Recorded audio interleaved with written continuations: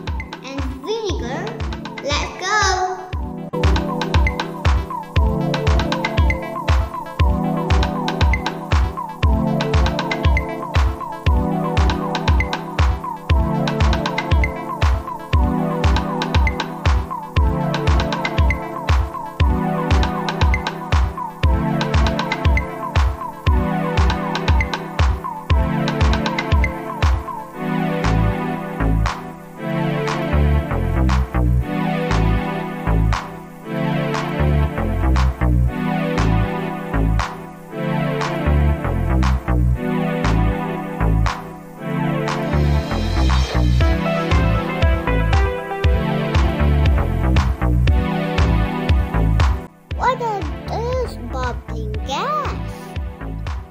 It's a carbon dioxide. Where does it come from?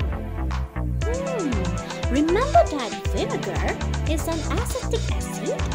Hmm, yes I do.